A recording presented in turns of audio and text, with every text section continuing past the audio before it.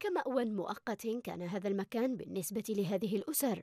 لكنه الآن وبعد أن طالت إقامتهم فيه بات كل ما هو متاح بالنسبة لهم.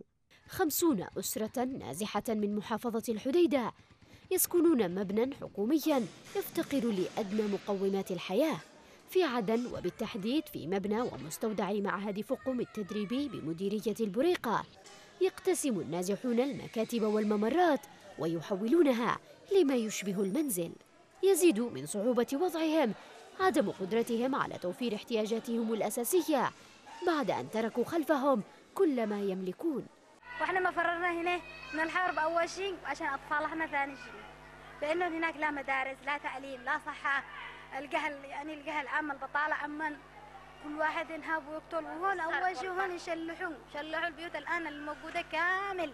من خرج من بيته شلحوا له اياها أجبرتهم حرب ميليشيا الحوثي على ترك منازلهم وما زالت الحرب ذاتها تحول بينهم وبينها.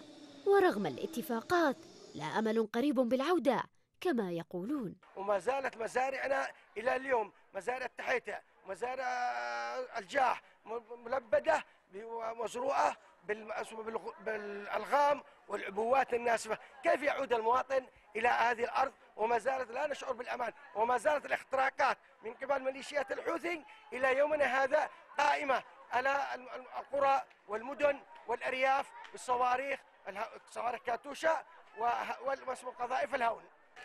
بصراحة ما أعتقدش لأنه يعني يحصل خرق خرق للهدنة كل ما هدنت الأمور وتوقعنا تفاءلنا بالخير والسلام يحصل شيء جديد مفاجئ مش متوقعينه قرابة الخمسمائة أسرة أخرى نازحة أيضا وموزعة في مناطق مختلفة بمديرية البريقة فضلا عمن هم في محافظات أخرى. ووفقا لإحصاءات الأمم المتحدة فإن نصف مليون شخص نزحوا من محافظة الحديدة فقط منذ يونيو الماضي.